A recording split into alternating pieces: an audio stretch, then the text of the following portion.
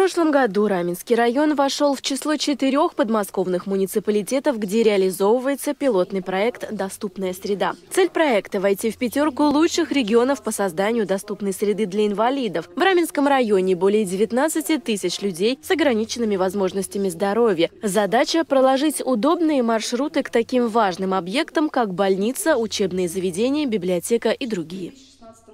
В рамках данного проекта создаются маршруты к наиболее востребованным объектам, которые должны быть доступны для инвалидов, как и сам маршрут движения тоже должен быть доступен и удобен. В первую очередь для инвалидов-колясочников, опорников, тотально слепых граждан. В рамках концепции доступного пространства для инвалидов будут утверждены и реализованы следующие стандарты. Доступный подъезд, удобный двор, доступные дороги, доступный транспорт. Более 80 тысяч граждан района являются получателями мер социальной поддержки. В 2016 году все выплаты произведены в полном объеме, отмечает Елена Костина. Раменским отделением социальной защиты также осуществляются выплаты почетным донорам, женам погибших военнослужащих, гражданам, пострадавшим на Чернобыльской АЭС. Уважаемые депутаты, в 2016 году мы торжественно отмечали дорогие для нашего народа дата воинской славы, 71-ю годовщину победы в Великой Отечественной войне и 75 лет со дня начала контрнаступления советских войск под Москвой. В соответствии с постановлениями правительства Московской области 4300 ветеранов Великой Отечественной войны жителей Раменского района получили единовременную материальную помощь к этим датам на общую сумму 22,5 миллиона рублей.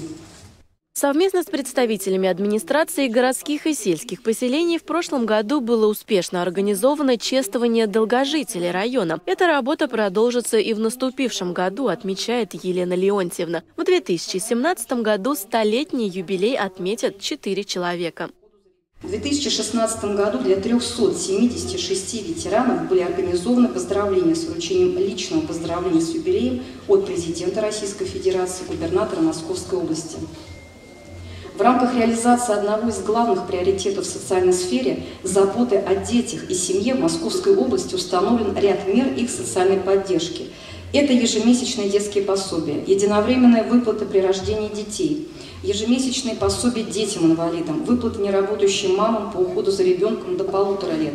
В 2016 году данные выплаты перечислены более 5000 семьям на общую сумму более 236 миллионов рублей. Особое внимание со стороны социальной защиты населения уделяется многодетным семьям. Их в Раменском районе немало – 1910 семей. Наряду с компенсацией по оплате коммунальных услуг многодетным семьям предоставляются ежемесячные выплаты на третьего и последующих детей, бесплатный проезд на транспорте, бесплатные путевки на оздоровление детей. Министерством социального развития проводится ежемесячный мониторинг реализация областного закона о бесплатном предоставлении земельных участков многодетным семьям Московской области. Основная задача, по словам Елены Костиной, организовать отдых детей из многодетных семей и семей, оказавшихся в трудной жизненной ситуации. Путевки в 2016 году в оздоровительные лагеря получили 390 детей. В 2016 году продолжилась реализация регионального материнского капитала в размере 100 тысяч рублей.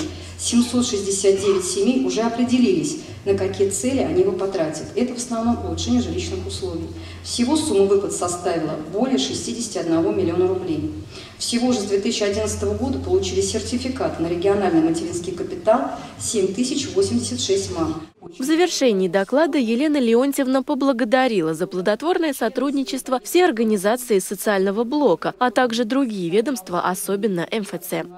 Екатерина Алфимова, Сергей Григорьев, Андрей Милентьев для программы «Городские вести».